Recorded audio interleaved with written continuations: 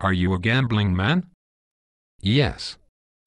I bet you $50 that you can reach up and touch that meat hanging on the hooks up there. I'm not betting on that. But I thought you were a gambling man. Yes I am, but the stakes are too high.